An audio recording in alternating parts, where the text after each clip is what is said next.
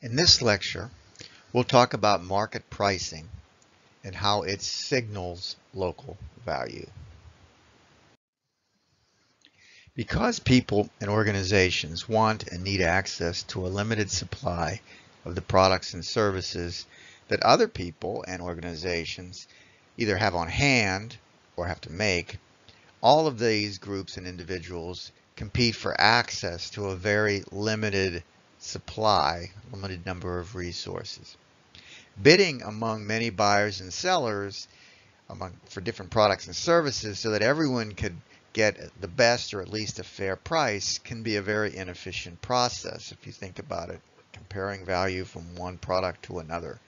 To make this process easier across many different product lines, we use an exchange currency that measures, quote, value. In the United States, we use US dollars to measure this exchange value.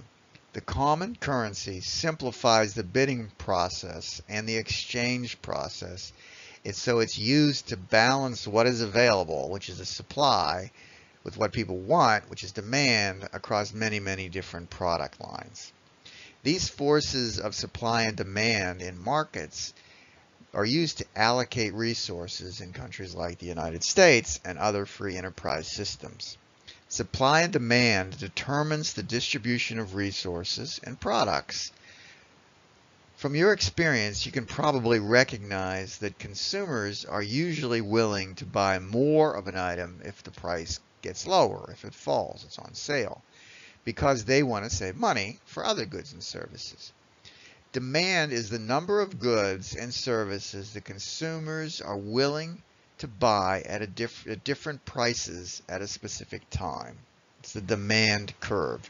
And supply is the number, or supply curve is the number of products, that is goods and services, that businesses are willing to sell at different prices at a specific time. In general, because the potential for profits are higher, businesses are willing to supply more of a good or service at a higher price. There's less risk when the price is higher. You can incur a little bit of extra cost if you have to produce more than you might have on hand. You have to go out and buy more, whatever. So suppliers are willing to to create. Uh, producers are willing to produce more and supply more if the prices are higher. This is the basic supply and demand. Let's consider an example of handmade rugs. Consumers may be willing to buy six rugs at $350 each, four at $500 each, but only one at $650. The relationship between the price and the number of rugs that consumers are willing to buy can be graphically shown, you can see it here, with a demand curve. A company that sells rugs may be willing to sell six at $650 each, four at $500 each, but just two at $350. The relationship between the price of rugs and the quantity of rugs, the quantity of rugs that the company is willing to supply, willing to sell, is, be, is shown here as the supply curve. That's the, the red curve on the, on the graph. The supply and demand curves intersect at a point where supply, what people are willing to sell at a price, meets the demand that people have to pay that price. So they're willing to buy that many at that price.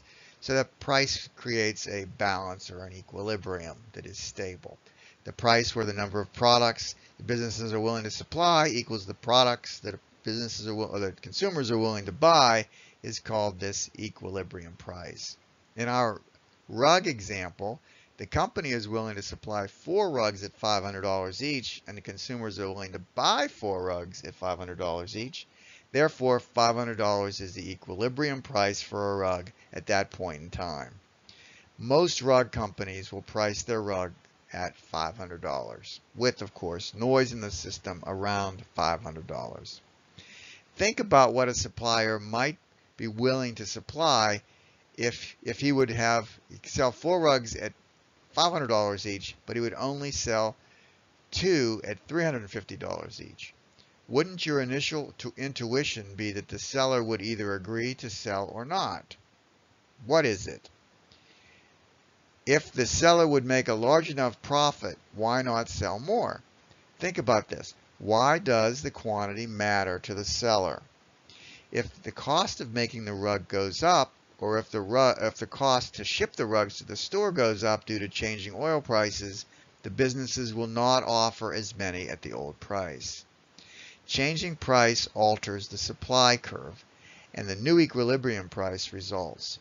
This is an ongoing process with supply and demand constantly changing in response to changes in the economic conditions, the availability of resources, the degree of competition. The price of a particular product at a particular moment is a signal to anyone that's in the marketplace about current conditions in the economy. This signal contains very useful information for each of us, for anyone that is willing to interpret it about what is happening in this particular marketplace. You know the relative value of various kinds of commodities and kinds of products, and therefore you can understand how you can better allocate your, your, your capital. Pricing helps allocate resources and it helps people satisfy their demands by allocating their resources properly among the various products and services that are available. That's the underlying dynamic that is described in this supply and demand curve model. It's equilibrium price. As the prices move, you learn about how you can better allocate your resources, and that goes throughout the economy because it ripples down through the suppliers, what they buy, how much they make, all those kinds of things. That's the basic logic of the equilibrium prices. So we ask ourselves, is this a fair process? Is this a reasonable way to determine for a society who gets what resources? Who gets access to what resources? Certain critics of supply and demand say that the system doesn't really distribute resources equally. If you have more assets, you get more stuff. The forces of supply and demand prevent sellers who have to sell at a higher price because their costs are high they can't get into the marketplace, and buyers who don't have enough money can't afford to buy goods at the equilibrium price. The price is too high now. So they're not participating in the market and they're not necessarily optimizing or maximizing their own uh, value of their environment, what they can achieve in terms of their, their sense of well-being. According to critics, the wealthy can afford to buy more than they need, but the poor may be unable to buy enough of what they need. Is there a better way? I don't know the answer to this, but this is the reason that other economic systems like socialism or communism to some degree, it had been in some points, or at least theories around it, uh, they're adopted to try and alleviate some of these questions we have about inequality. Perhaps the answer is that supply and demand pricing is fair for luxury goods like vacations, but not so much for basic needs like food staples or public transportation or basic health care. This is the core or one of the core reasons that we have these political debates. It's why the government sometimes steps in to regulate markets. You want to make sure that people get safe transportation and not just transportation. You could get transportation at a lower price, but it might not be safe, those kinds of things. And this is really what most or much of the political debate in our society is all about. In the next uh, lecture, we'll start to talk about marketplace competition and some of the dynamics of that um, and how that affects allocation of resources as well.